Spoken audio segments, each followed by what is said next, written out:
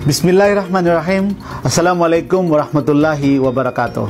Ang Republic Act number 11054 o ang Bangsamoro Organic Law na siyang sagot sa ilang dekadang kaguluhan sa Mindanao. Bagamat ang paggamit ng kapayapaan at kaunlaran sa ating bansa ay tuluyang makakamit kung tayo mismo ay makikialam, tutulong at makikiisa.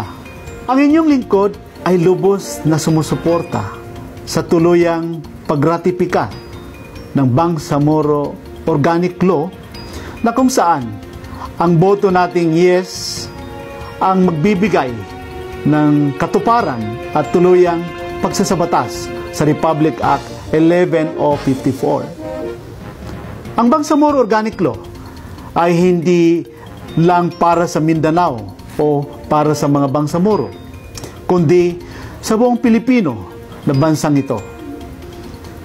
Sa pagunlad, kailangan ang kapayapaan at sa pagunlad, kailangan ng oportunidad. At sa pagunlad, kailangan ng pagkakaisa. Itong Bangsamoro Organic Law will open a floodgates of business opportunity. Suportahan po natin ang Bangsamoro Organic Law.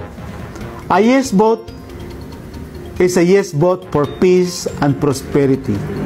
Sa January 21 po, tayo ay makilahok, pumunta sa mga presento at tayo ay bumoto ng yes. Maraming salamat po.